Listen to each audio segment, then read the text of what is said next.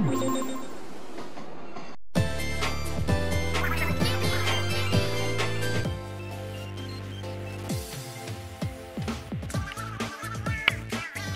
everybody for another time of Woomy News. Today's Woomy News is going to be the most saddest you'll ever see. Yep, because this Woomy News, it's about a Splatfest. Hey, Marie, tell everybody what the new Splatfest is. Well, apparently this Splatfest is going to be the last. I'm sorry you kids have to see this, but let's go and see what the new Splatfest is. Enough talk, Marie. Let's just start it already. Okay, if you say so.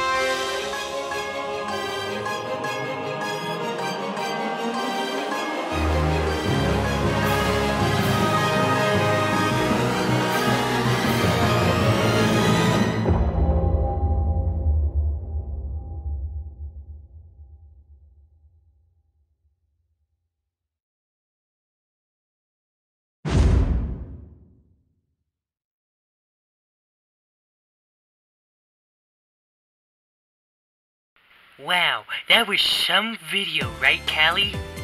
Yes, it was. But why did it have to be this? I thought it was going to be the Marina and Pearl Splatfest. Well, just like our Splatfest, it was Callie versus me. But in this one, it's apparently Chaos and Order.